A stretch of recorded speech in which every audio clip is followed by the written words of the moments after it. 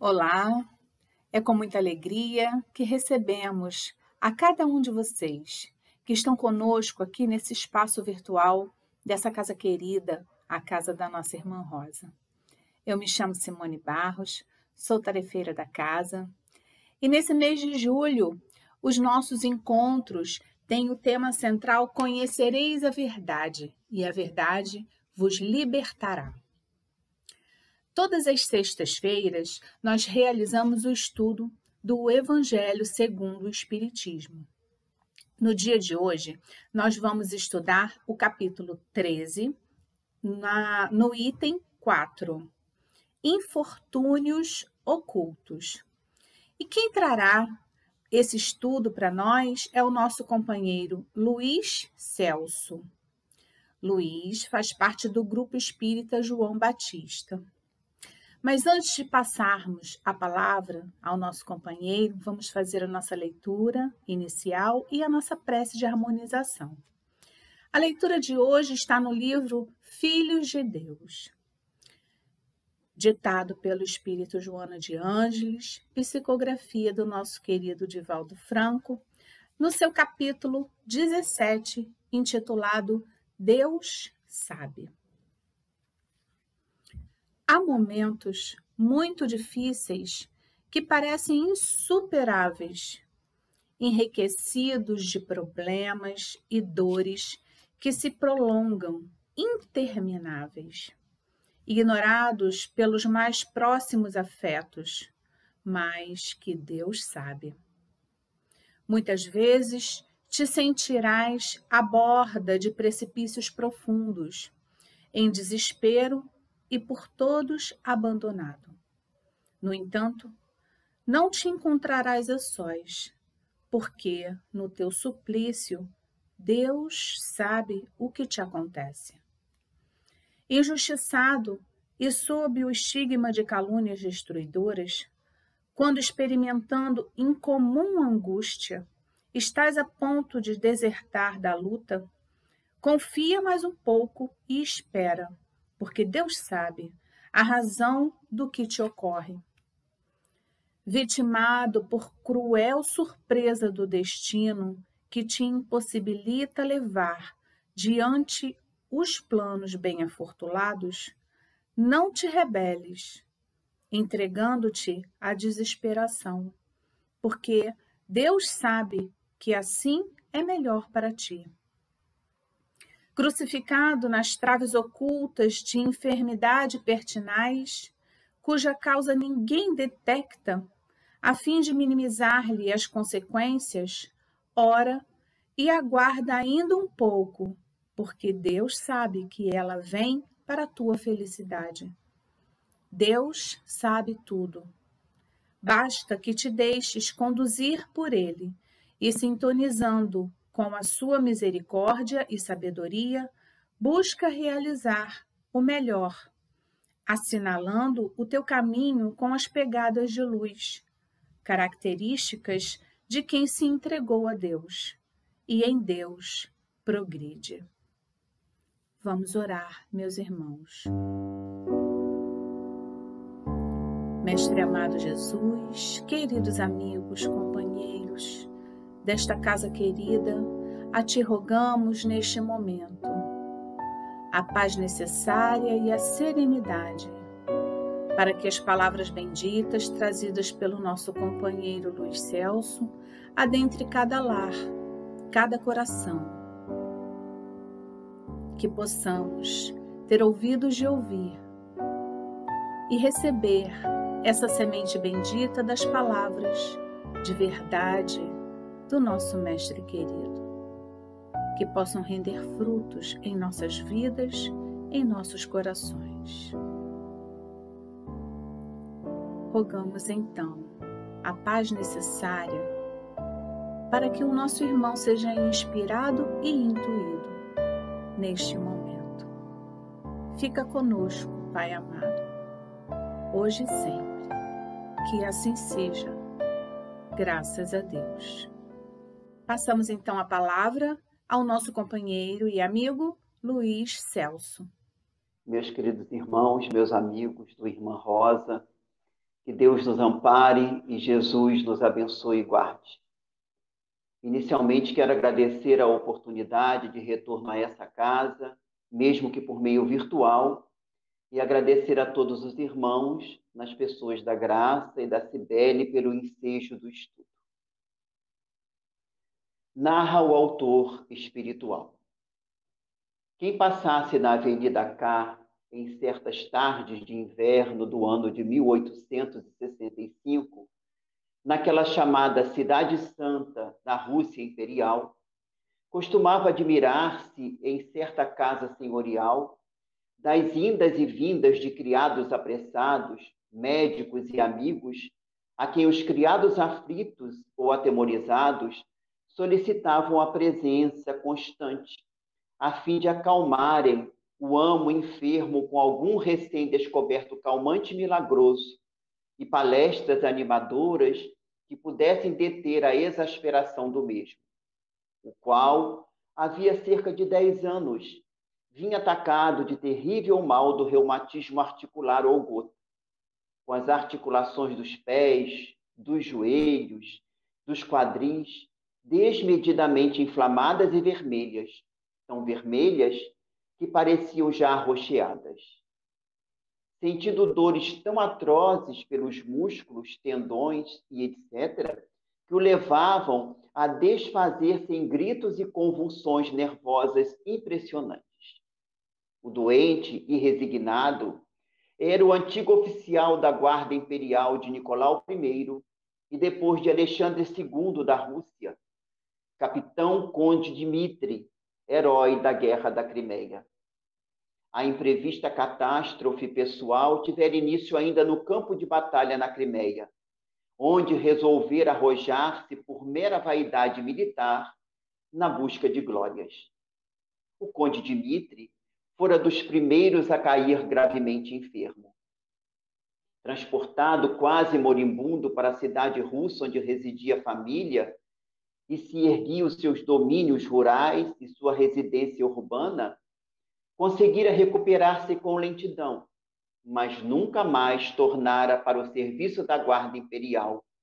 Nunca mais pudera montar ou esgrimir, nem pudera volver aos salões de festa para os bailes que tanto gostava.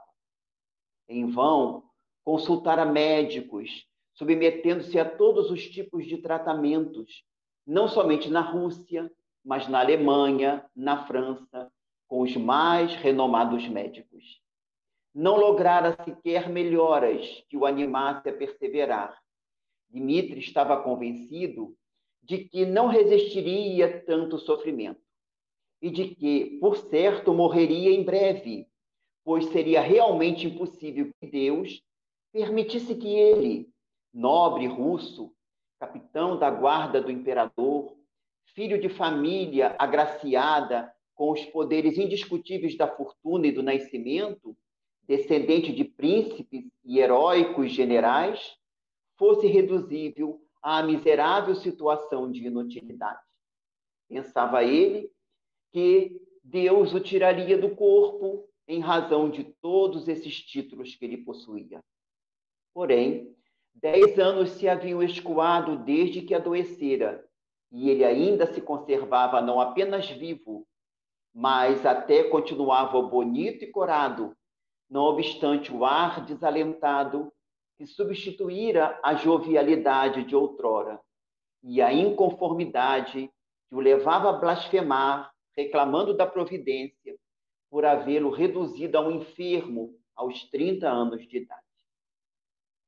No inverno de 1870, já paralítico, Dimitri sofreu o dissabor da perda da condessa, sua mãe. Sentiu-se tão desolado diante de tal desgraça que julgou enlouquecer de angústia. Aquele palácio antigo da Avenida K, na Cidade Santa, pareceu-lhe com efeito de tal forma sinistro e insuportável, com a ausência de sua mãe, que, indignado contra a própria sorte, ordenou que o fechasse de vez e rumou para o campo, decidido a residir mesmo no inverno, nos vastos domínios rurais que possuía, a ver crescer o trigo, o centeio, a alfafa e o feno, pois seu desmedido orgulho não lhe permitia mostrar-se inválido numa cadeira de rodas aos antigos companheiros de armas e às damas com quem se divertia outrora nos salões da nobreza russa. Na propriedade rural, os criados domésticos receberam com respeito e atenção.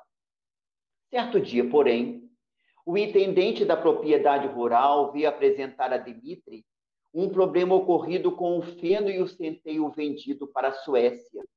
E mesmo desaconselhado pelo intendente, ele, Dimitri, resolvera fazer o negócio que agora estava prejudicado.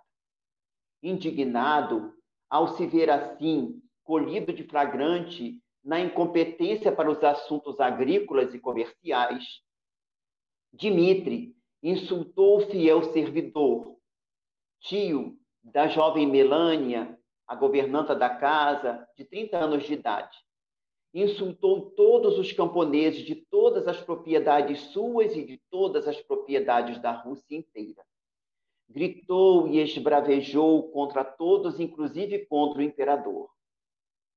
Ora, com o intendente, naquela manhã, entrara também na sala o seu filho mais moço, um menino de 10 anos de idade que era primo da governanta e seu afilhado, que assistindo ao entendimento do pai com o irritado enfermo, o pequeno visitante sentiu-se estarrecer de susto.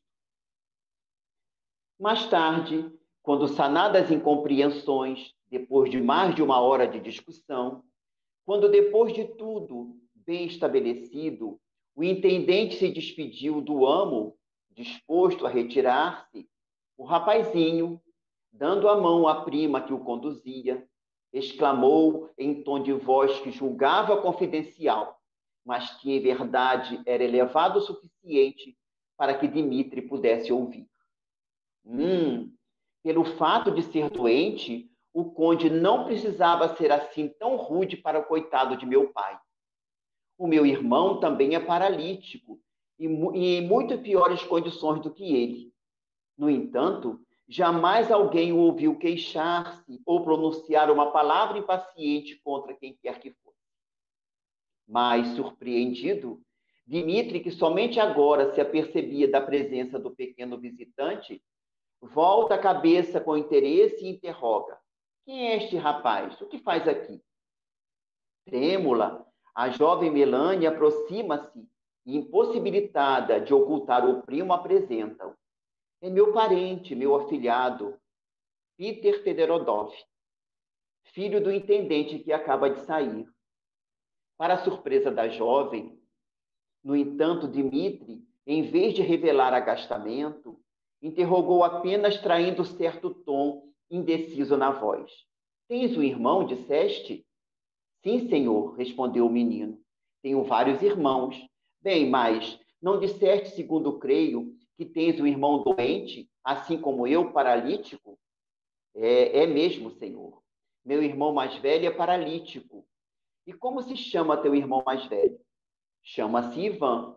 E a paralisia é igual à minha? perguntou Dmitri. Não, senhor, respondeu o menino. Muito pior. Como então? Respondeu agora o menino a nova pergunta. Ele nem sequer movimenta com os braços, a cabeça e o corpo, somente os olhos e a boca. Tem que se fazer tudo para ele, como se fosse um recém-nascido. Vive deitado, nem ao menos se senta como o Senhor. Não tem equilíbrio na espinha. Mas o teu pai jamais me falou disso. Eu ignorava, disse Dimitri. E o menino respondeu com toda a espontaneidade da criança. Falar para quê, Senhor? E mesmo se o Senhor soubesse, não ia remediar o mal. É de nascença? perguntou Dimitri. Não, senhor, apressou-se a responder Peter. Não foi de nascença, não. Foi um resfriado adquirido no campo pelo início das chuvas. Desde os dez anos, meu irmão enfrentava o frio para trabalhar e ajudar o papai. E ele vive bem? Perguntou Dimitri. Não disseste que ele vive bem? Alegre propriamente ele não vive, disse Peter. mas é resignado e paciente. Que se há de fazer? Se não tiver paciência, o sofrimento aumentará de muito. Assim fala a mamãe para todos nós. Sofre por não mais poder ajudar o papai. Somos sete irmãos e ele é o mais velho. Que idade tem teu irmão? indagou Dimitri, curioso. Vinte anos, senhor. Dimitri nada mais disse, limitando-se a cenar com a cabeça para o menino, que se retirou com um cumprimento polido. Durante o resto da tarde, não mais falou nem leu os livros. Dimitri se, se, se permitiu ficar em silêncio. Porém, na manhã seguinte, Dimitri chamou seu criado de quarto, de nome Nicolai, mandou preparar o transporte, porque queria se dirigir às dependências da residência do intendente, a fim de visitar o seu filho enfermo.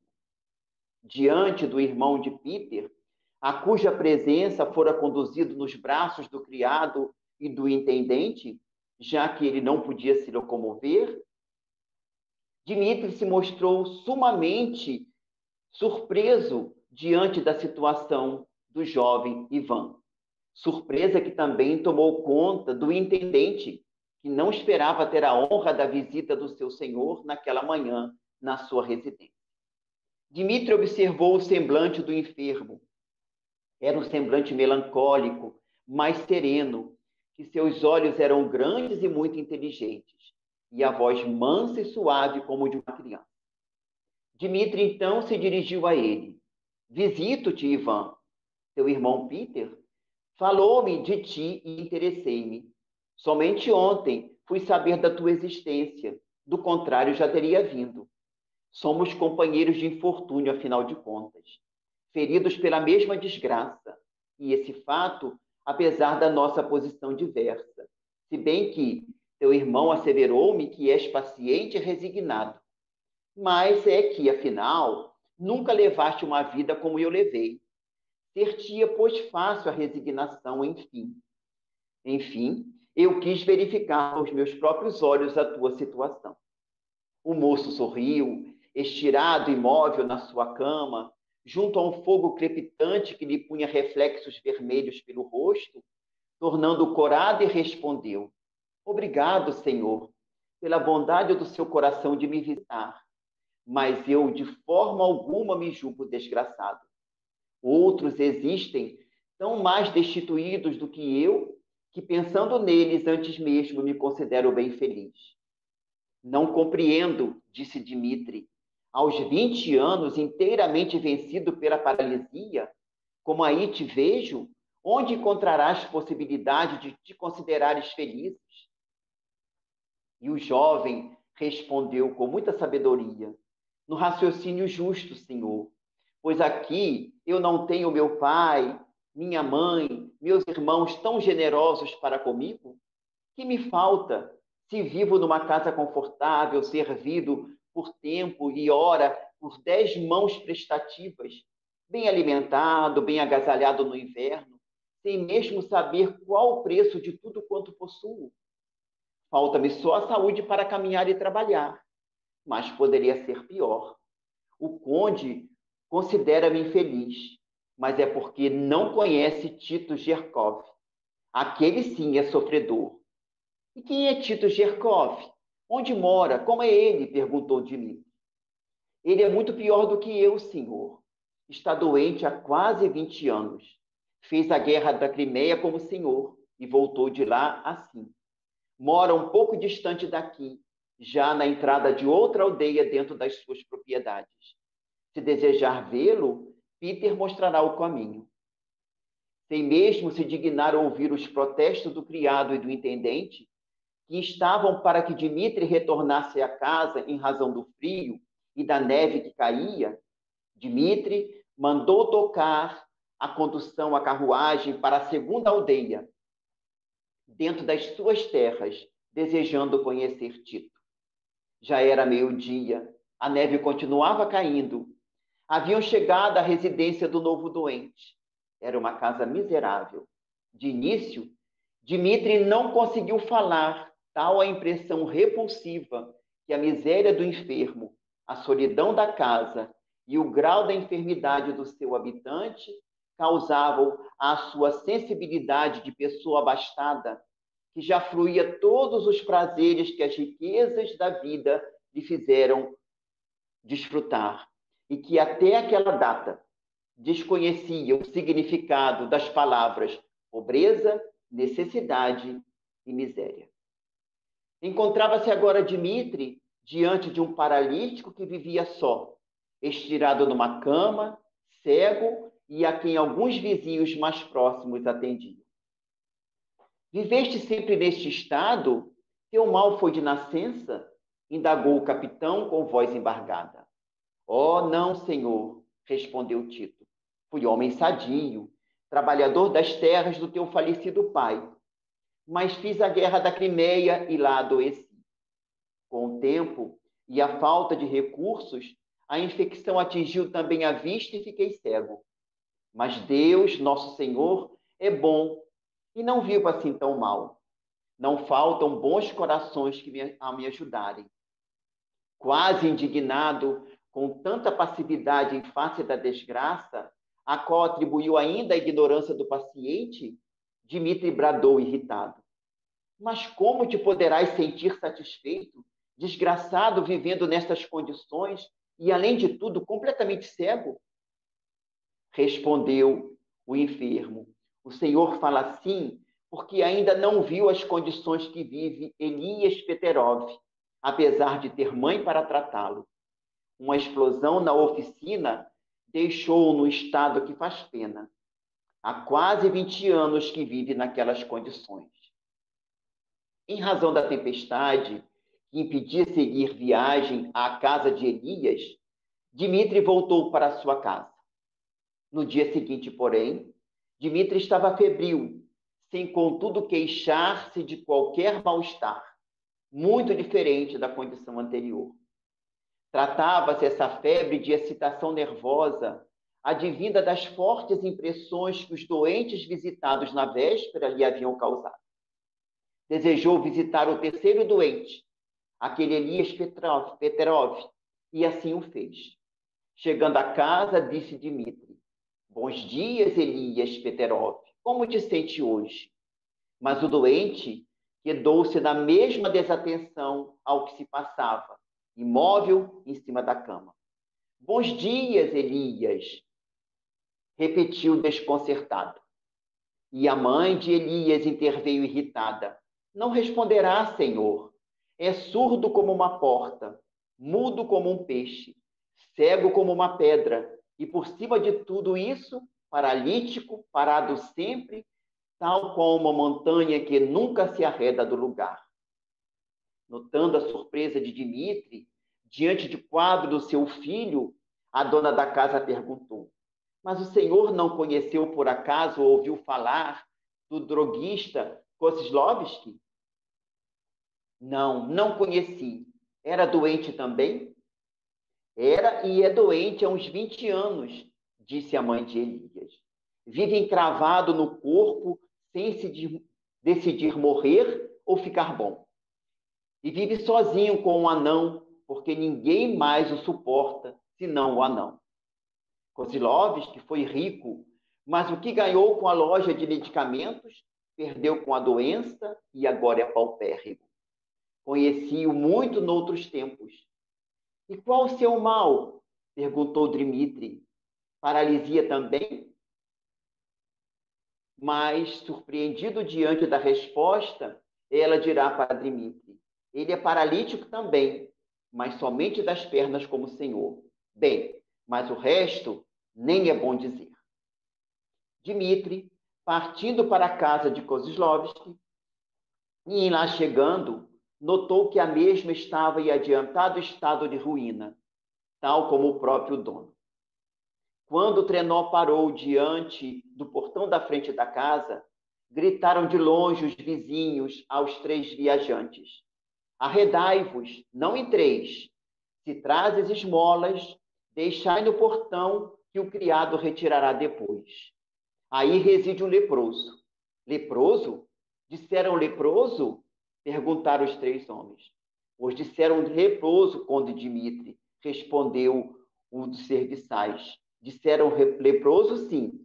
Portanto, não devemos entrar, asseverou Nicolai a intervir, aconselhando o amo.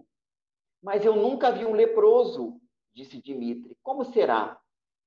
Vamos entrar. A visita será breve, assim como um testemunho de solidariedade a ele que sofre. De início, Dimitri não pudera emitir sequer um monossílabo ao defrontar-se com o quarto enfermo que visitava. O doente pareceu surpreender-se, pois ergueu vivamente a cabeça despida de cabelos e os glóbulos dos olhos cegos que uma membrana esbranquiçada e esponjosa recobria, agitaram-se dentro das órbitas, cujos rebordos das pálpebras já se viam corroídos pela lepra. Impressionado até estupefação, Dmitri, amparado pelos criados, falou, muito emocionado. Visito-te, Kozlovski. Que sentes hoje? Se te posso servir de alguma coisa, esclarece-me e serás atendido. E o leproso respondeu com lágrimas na voz e em tom roquenho devido à ausência das narinas. Deus seja louvado pelo reconforto proporcionado ao pobre enfermo, excelência. Agradeço do fundo de minha alma a piedosa visita que me faz, a qual recorda a peregrinação dos sublimes antigos discípulos do Cristo, que procuravam atender os sofredores, inclusive nos vales dos leprosos. Naquela tarde, naquela casa, Dimitri ouviria falar por primeira vez da doutrina espírita e dos seus postulados que seriam ensinados por aquele Hanseniano. À tarde, chegando a casa, Dimitri chorou copiosamente e também à noite, seguido de crises de, de pranto muito impressionaram Melania e os demais empregados da casa. Pensava em Peter, que uma singela frase de censura havia despertado ele para aquelas situações daqueles infortunados ocultos que viviam nas dependências de suas próprias terras e que ele desconhecia. Ele, Dimitri, conde também doente, mas rico e poderoso, era o único inconformado com a própria situação. E agora verificava o quanto outros sofriam mais que ele e eram resignados e confiantes na misericórdia divina, buscando, de alguma maneira, aceitar a situação de uma forma agradecida pelo muito que recebiam.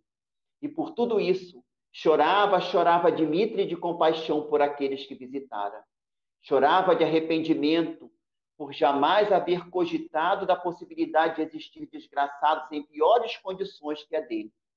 Chorava de remorso pelas blasfêmias que proferira, desde que se reconhecera enfermo, pelo desamor com que considerara até ali todos que o serviram e tudo quanto possuía e participava da sua existência. Aqui nós paramos a nossa narrativa. Essa história, narrada tão grosso modo, ela continua, mas os senhores poderão ver o desfecho lendo o livro Ressurreição e Vida, de autoria do espírito Leon Tolstói e psicografado por Ivone do Amaral Pereira, especial no capítulo 7, intitulado Paralítico de Kiev, que nos traz os detalhes da transformação moral e espiritual ocorrida com o conde Dimitri, senhor de extensa propriedade rural, que nunca havia tido contato antes com os infortúnios ocultos existentes nas suas próprias terras mas que foram instrumento da sua transformação. Este, meus irmãos, é um momento no contexto da humanidade que poderia ser caracterizado como de provações e expiações coletivas. Haja vista que estamos atravessando os instantes que Allan Kardec, em O Livro dos Espíritos, iria intitular de flagelos destruidores, mas também onde somos esclarecidos pelos espíritos superiores que a finalidade desses flagelos é fazer com que a humanidade possa progredir mais depressa.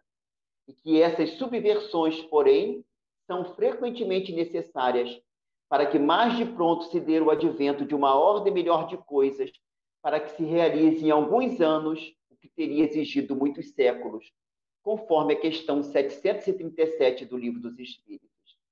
São os momentos das grandes calamidades, conforme consta do Evangelho segundo o Espiritismo, no capítulo 13, item 4, na página dos infortúnios ocultos, que nos foi oferecido como tema para essa casa neste dia.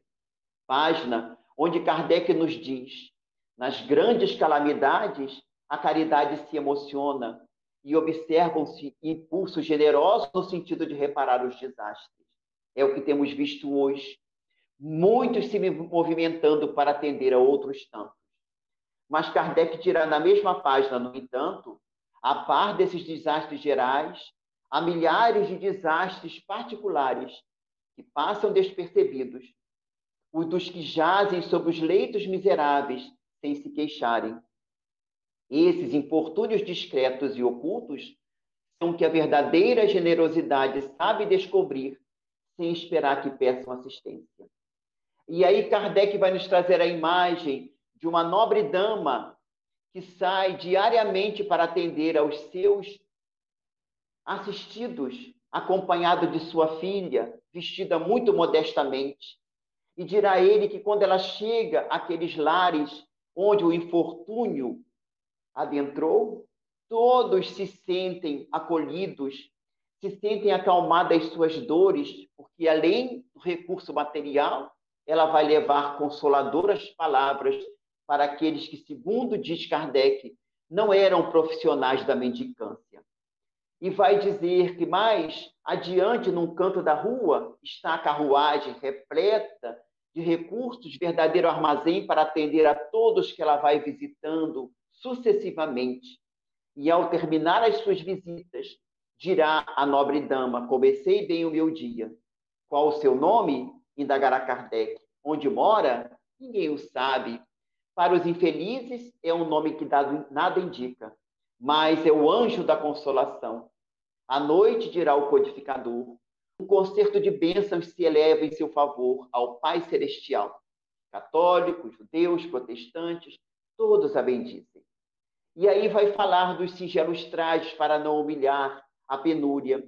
Vai explicar por que, que ela se faz acompanhar da filha, para que a filha pudesse aprender a servir também aos necessitados. Fato muito importante e muitas vezes esquecido nas famílias, de nos fazermos acompanhar por aqueles que estão sob nossa responsabilidade, para que possam aprender desde cedo a colaborar com os mais necessitados.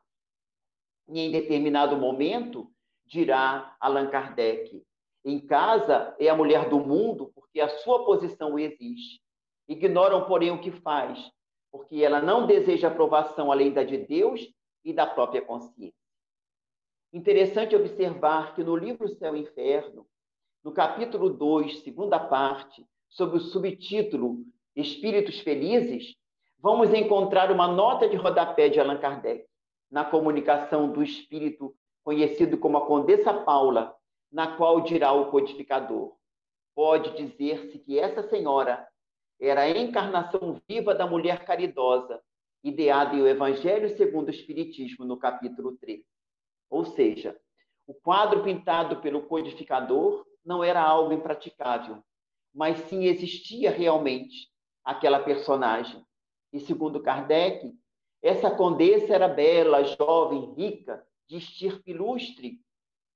Era um modelo de qualidades intelectuais e morais. Sua desencarnação ocorreu quando ela tinha 36 anos, em 1851. E Kardec vai discorrer de todas as qualidades que essa condessa possuía, demonstrando a grandeza da sua alma. Mas também vamos ver que esse quadro pintado daqueles que buscam, de alguma maneira, os infortúnios ocultos, também se enquadra o próprio codificador porque é interessante observar que numa carta escrita por Alexandre Delany, o pai de Gabriel Delany, em 30 de março de 1870, quando no dia seguinte seria inaugurado o Dômen em homenagem a Allan Kardec do cemitério Père Lachaise em Paris, e Alexandre Delany estava enfermo em Rouvert e não pôde ir à inauguração, nessa carta que ele escreve aos amigos, ele irá dizer o quanto codificador buscou atender aos infortúnios ocultos sem que ninguém soubesse.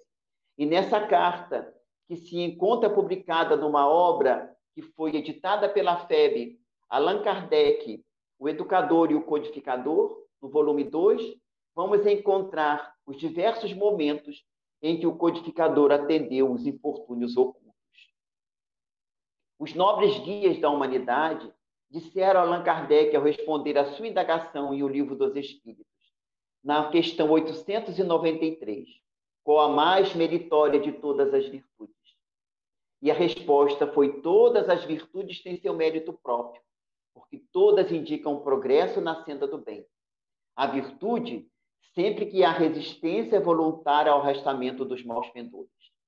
Mas enfatizar os espíritos. A sublimidade da virtude, porém, está no sacrifício do interesse pessoal pelo bem do próximo, sem pensamento oculto. A mais meritória de todas as virtudes é que assenta na mais desinteressada caridade.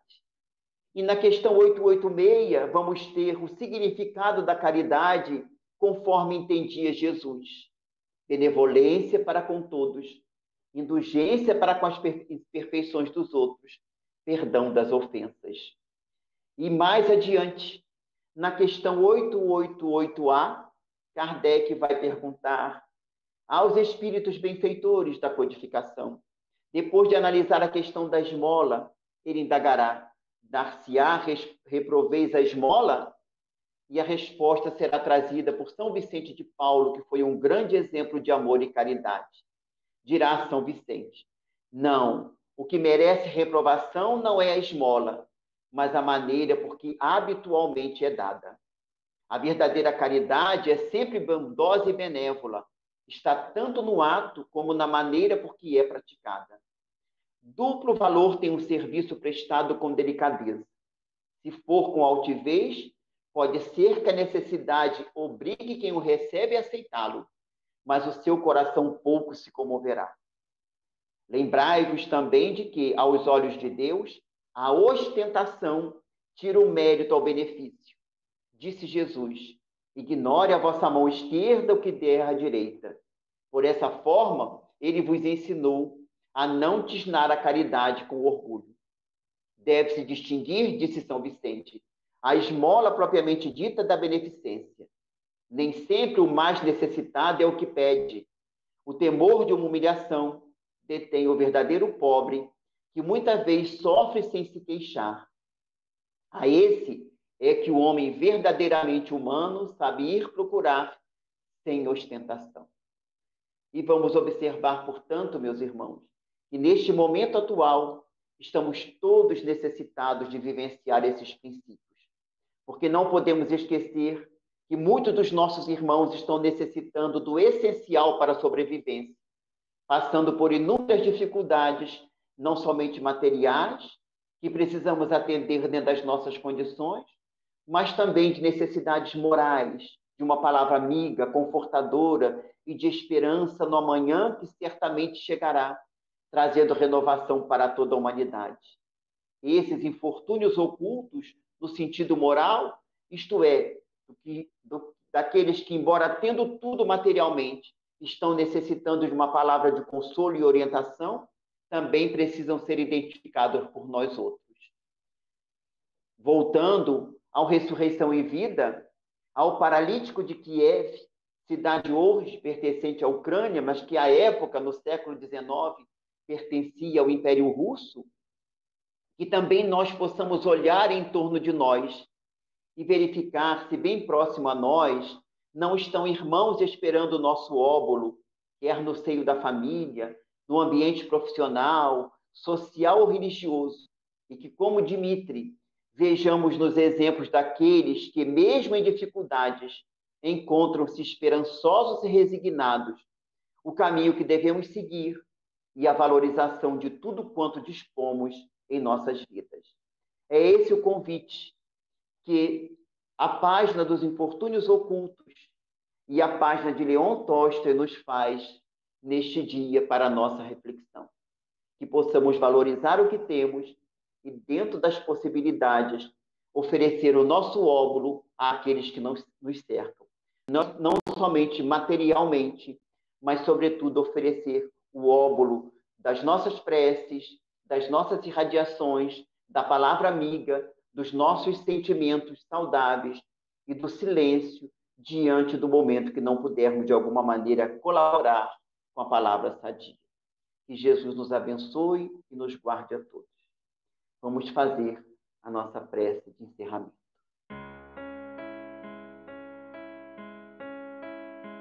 Nosso amigo Jesus, queremos agradecer a oportunidade das reflexões, nesse ensejo de estarmos com os corações amigos deste núcleo espírita que nos acolhe fraternalmente. Agradecer o amparo dos bons espíritos, suplicando que possa envolver todos quanto nesses instantes estiverem sintonizados em oração e que possam receber nos seus ambientes os eflúvios saudáveis, as energias benfazejas, possam ampará-lo com os recursos do passo espiritual, tanto quanto com os recursos fluídicos e magnéticos indispensáveis às necessidades de cada um. Agradecemos a sustentação dos bons espíritos